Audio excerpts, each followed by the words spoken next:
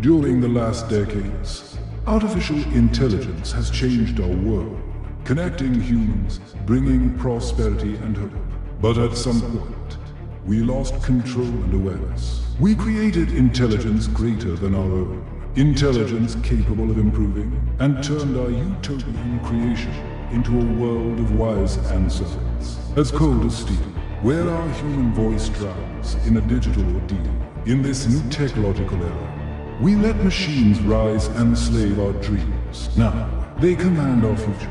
We have led mankind to its extinction and lost all humanity. If we want to survive, we must fight and reclaim ourselves, rising to the stars and always standing tall.